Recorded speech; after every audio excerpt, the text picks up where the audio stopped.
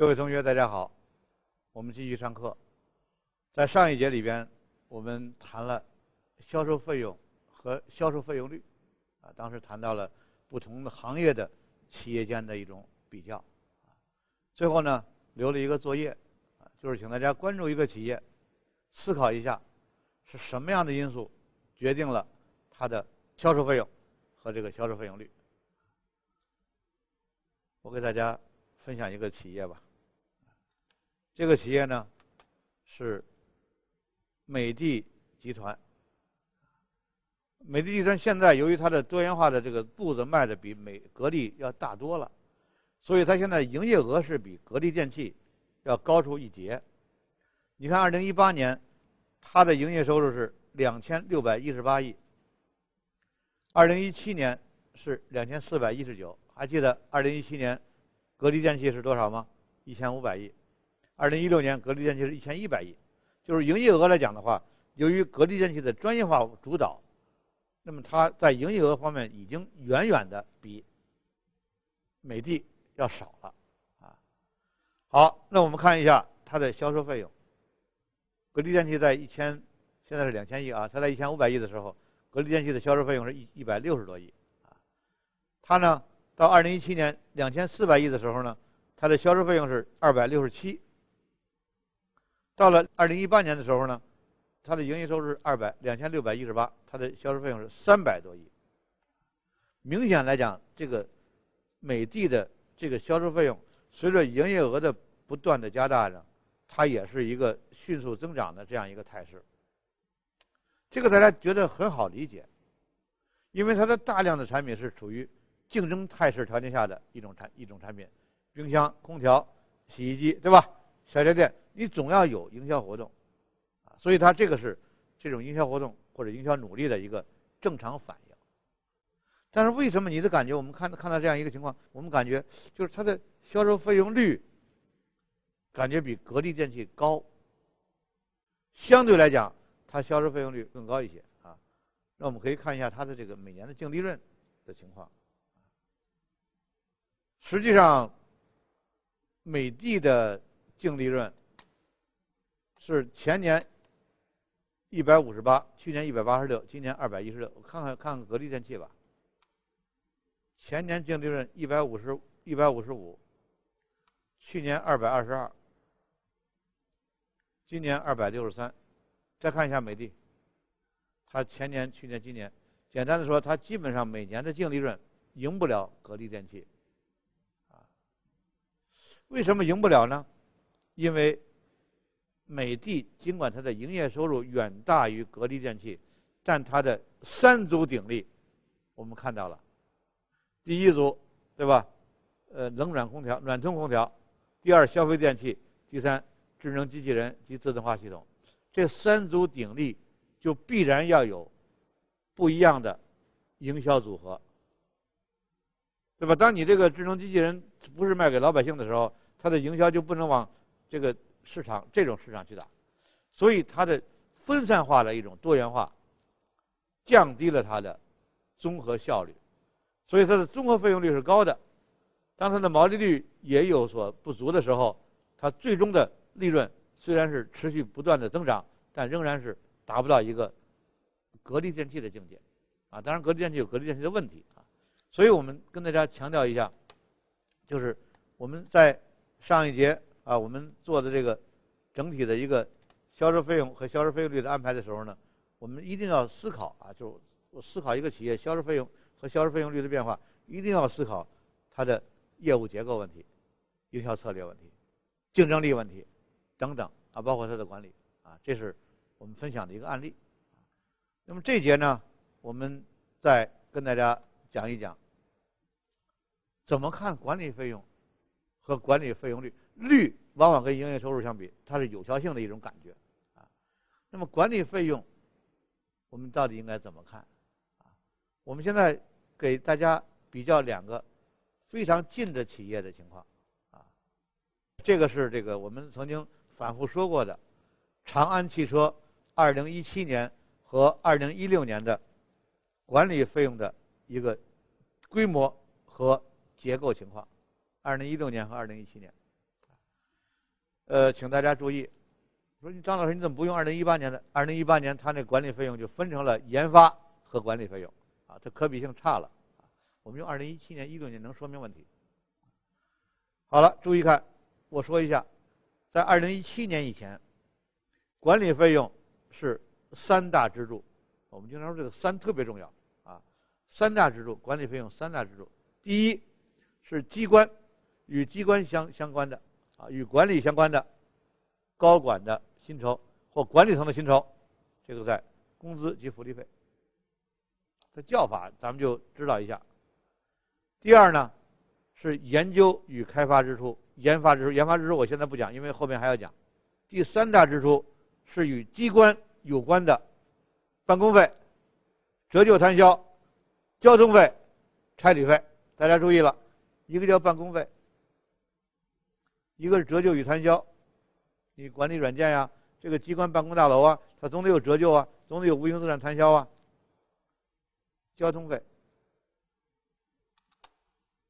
差旅费、交通费、差旅费，啊，那么简单的说，一是高管薪酬，二研发支出，三与机关有关的啊这种交通费、差旅费、折旧费、摊销费、办公费。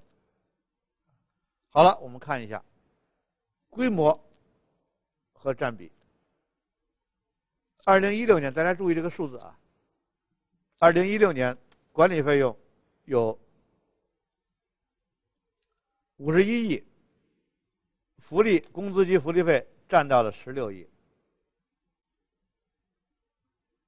大概不到三分之一是咱们管理者的薪酬。第二，研发支出大概占百分之四十，四十多一点啊。好，咱们就知道这数字啊。看一下，办公费两亿六，折旧及摊销六亿多，这加一起八亿多了。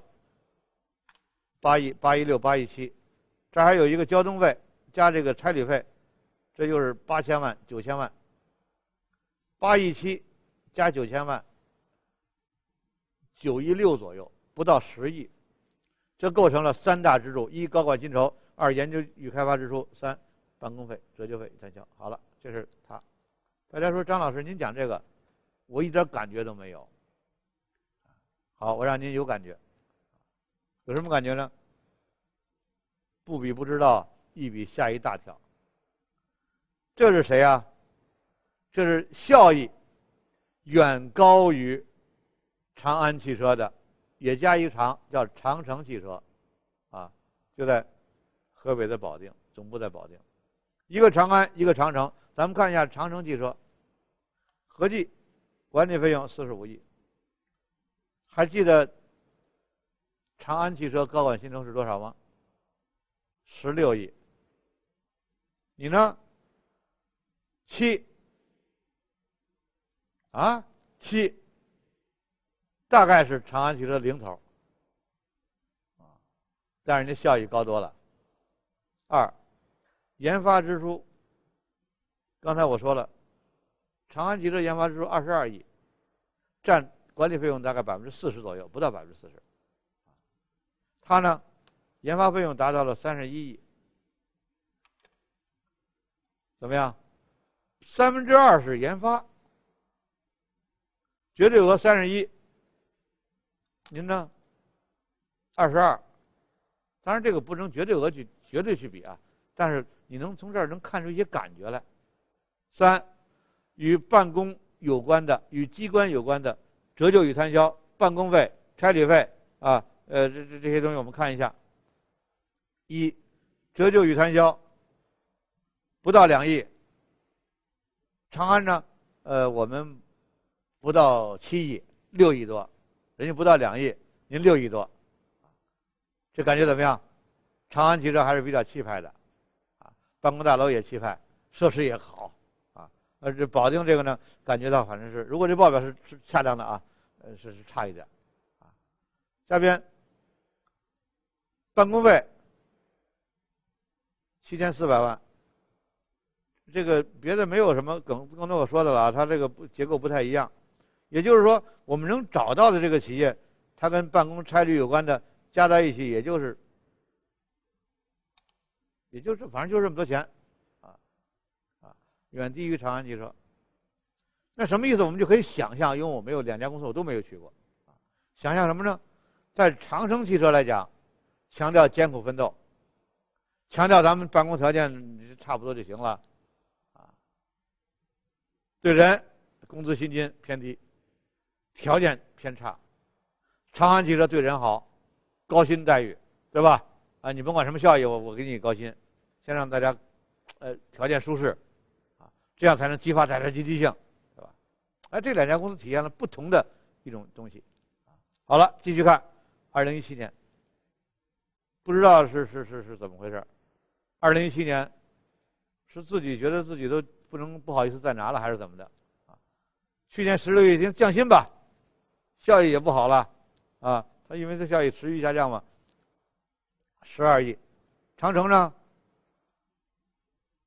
八不到九，涨了。长城汽车涨了，但是非常克制。